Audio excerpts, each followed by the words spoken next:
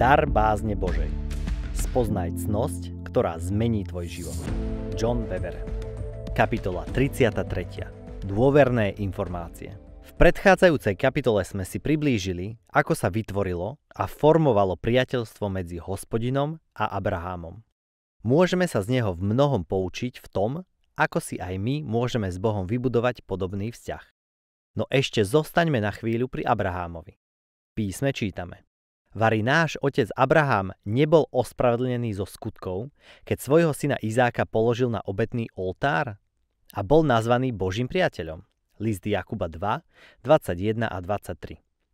Apoštol Jakub tiež hovorí o tomto priateľstve medzi Bohom a Abrahamom. Zaiste nie je náhoda, že jeho slová potvrdzujú anielov výrok Abrahamovi. Katalizátorom tohto blízkeho vzťahu nebolo nič iné ako bázeň pred pánom, čo sa potom prejavilo aj navonok v jeho bezodkladnej poslušnosti. Skutky. Poslúchol aj napriek tomu, že sa mu to nezdalo logické, prospešné a dokonca si to vyžadovalo aj hlboké seba zapretie, jednoducho povedané, mal pred Božím slovom bázeň. Práve ona ovplyvňuje našu vôľu, chcenie aj konanie a otvára nám široké dvere do úzkeho spoločenstva s našim stvoriteľom. Raz Boh spolu s dvomi anielmi navštívil Abraháma pri Mamrého duboch. Svojich anielských spoločníkov sa spýtal nasledovnú otázku. Môžem tajiť pred Abrahámom, čo chcem urobiť? 1. Mojžišova 18.17 Pán potom svoj plán prezradil Abrahámovi a dvaja anieli sa vydali na cestu do Sodomy a Gomory. Pre lepšie porozumenie tieto udalosti parafrázujem. Pán mu v podstate povedal, Abraham, mám v pláne tieto mestá kvôli ich zjavným hriechom zničiť. Aký máš na to názor? Dokážeš si predstaviť Abrahamovo prekvapenie z toho, že tvorca celého vesmíru sa ho pýta na názor? V šoku vyhrkol. Sodomu? Pán na to povedal. Presne tak. Sodomu aj Gomoru. Čo si o tom myslíš ty? Abraham si v panike pravdepodobne len sám pre seba hovoril. Dobre si rozmyslí, čo povieš, Abraham. Je tam predsa tvoj synovec Lot. Musím sa za neho a iných nevinných ľudí, ktorí tam žijú, prihovárať. A tak prišiel s takýmto nápadom. Naozaj chceš zahubiť spravodlivie... Naozaj chceš zahubiť spravodlivého s bezbožným? Keby bolo v meste 50 spravodlivých, zahubil by si ich a neodpustil by si mestu pre tých 50 spravodlivých, čo sú v ňom? Niečo také predsa neurobíš, aby si s bezbožným usmrtil aj spravodlivého. Potom by spravodlivý bol ako bezbožný? Niečo také predsa neurobíš. Či ten, čo súdi celú zem, nebude konať spravodlivo? 1. Mojžišova 18, 23 až 25. Vieš, ako veľmi sa pán potešil odpovedi svojho zmluvného partnera? Možno nadšene vyhrkol. To je ono. Nezničím tie mestá, ak tam nájdem, čo i len 50 spravodlivých. Som veľmi rád, že som sa na to môjho priateľa Abraháma spýtal. Abrahámovi to ale nestačilo. Veď čo ak ich tam toľko nenájde? A tak svoju prozbu zopakuje s tým rozdielom, že ich počet zníži na 45. Pán na to povedal. Výborne, nezničím tie mestá, ak ich tam bude 45. Som rád, že som sa s Abrahámom o tom radil. No Abraham pokračuje a prednáša svoju požiadavku, pričom počet spravodlivých stále znižuje zo 45 na 40, 30, 20 a napokon 10 spravodlivých. Myslí si. To by malo fungovať. 10 sa ich tam určite nájde. Jeden z nich je Lot a teda chýba už len 9. Takto sa môže s mocným panovníkom zhovárať len dôverný priateľ. Ak by takúto požiadavku predniesol služobník alebo poddaný, bolo by to na najvýš neúctivé. Pán s Abrahámovou prozbou súhlasil, veď písmo hovorí. Keď hospodin skončil rozhovor s Abrahámom, odišiel a Abrahám sa vrátil domov. 1. Mojžišova 18.33. Už sme si povedali, že ak sa bojíme Boha, jeho túžby sa stávajú našimi túžbami a to, čo nenávidí, máme v nenávisti aj my. Pamätám si, ako som raz spravil prvý krok, aby som sa zmieril s niekým, to mi ukryvdil.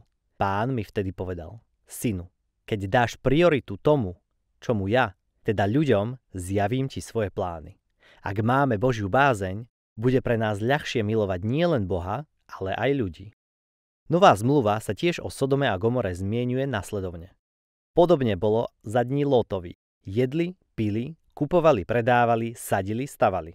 Lukáš 17.28 Dnes by sme povedali, Svet je gombička, máme sa predsa ako prasce v žite. A ak je nejaký ten boh, určite nemá nič proti tomu, že si užívame život plným priehrštím. Je hrozné si uvedomiť, že tieto mestá delilo od zničenia menej ako 24 hodín, no ľudia o tom nemali ani tušenia.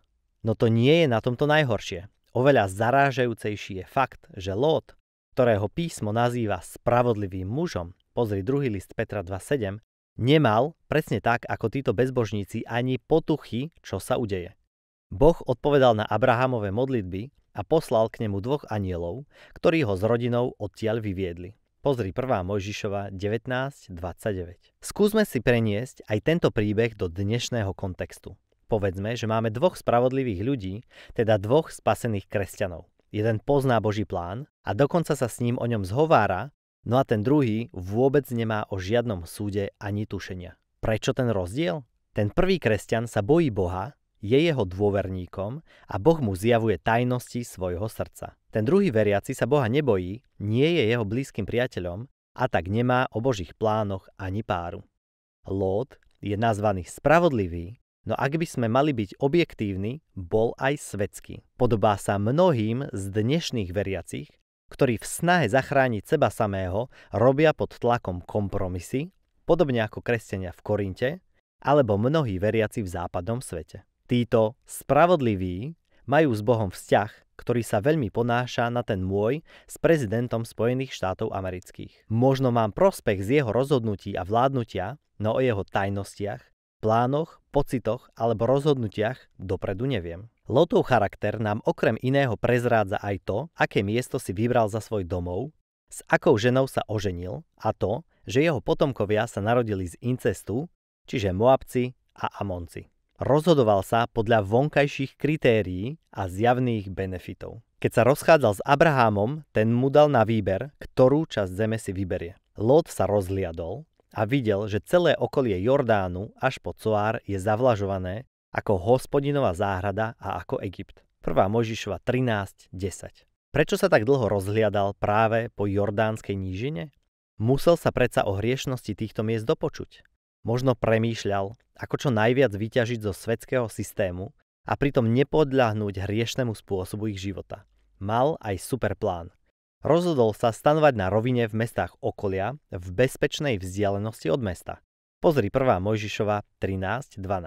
No jeho kompromis nefungoval celkom podľa jeho predstav. Neskôr sa aj tak spolu s rodinou presťahoval do Sodomy, príťažlivá sila hriechu bola jednoducho prisilná. Bez bázne pred pánom podľahneme pokušeniu priblížiť sa svetu. Povieme si, že veď sme predsa v bezpečnej vzdialenosti. Neuvedomujeme si, že je len otázka času, kedy nás svet načisto pohltí. Nezabúdajme, že sme síce povolaní do sveta, svedčiť svetu, ale nie sme zo sveta. Lótov príklad by sa mal pre nás stať vážnym varovaním. Ak by sa Abraham nebol za neho prihováral pred Bohom, prekvapil by ho súdny deň ako zlodeja v noci. Za svoje koketovanie so svetom však draho zaplatil.